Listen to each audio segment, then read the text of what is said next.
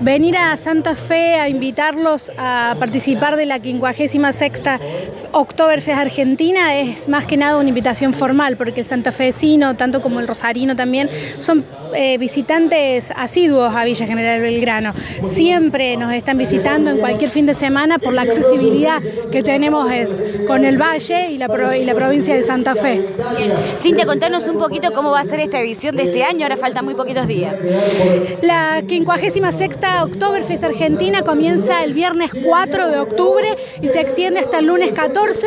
El lema de esta fiesta es una fiesta que rejuvenece porque mantiene las tradiciones de hace, desde el 1963 que mantenemos las mismas tradiciones, el espiche, el desfile, el escenario como por ejemplo las bandas típicas centroeuropeas, em, las distintas colectividades que nos visitan y demostrando su actividad cultural en el escenario Matías Calvo Ortega, pero también incorporamos innovaciones como la fiesta de la cerveza artesanal en nuestro salón de eventos y convenciones el miércoles 9 y el jueves 10 a partir de las 18 horas hasta las 22 con entrada libre y gratuita, en donde también se van a llevar a cabo en el escenario del salón de eventos y convenciones espectáculos, las manifestaciones artísticas y culturales de las distintas colectividades que nos visitan también van a estar en el Salón de Eventos de Convenciones.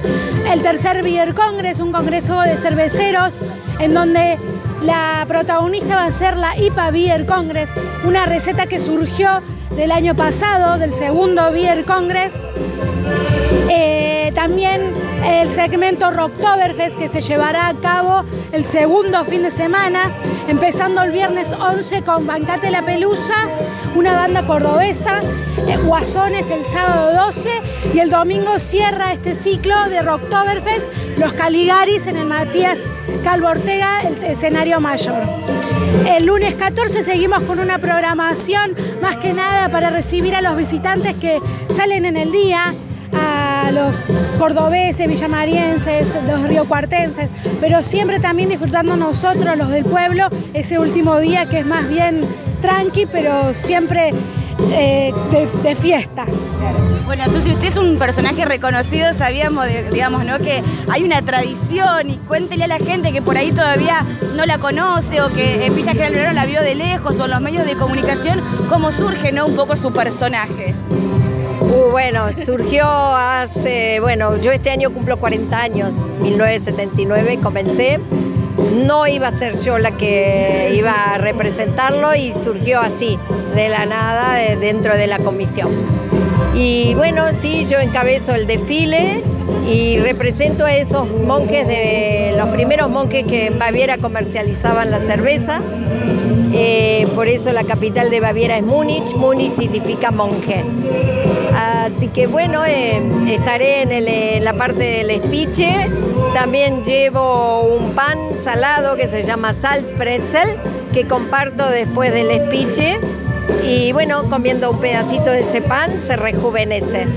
Así que bueno, los espero todos del 4 al 14 a disfrutar de nuestra gastronomía y de nuestros espectáculos que Villa Colgrano brinda. Un prosit. ¿Qué le parece el, Beck Festival? Porque es la primera edición, había obviamente mucha expectativa. ¿Cómo lo están viviendo en estas horas que llevan aquí? Ah, muy lindo, muy, está la verdad muy concurrido eh, una plaza hermosa que tienen ustedes, así que solamente el calor eh, es distinto que en Córdoba.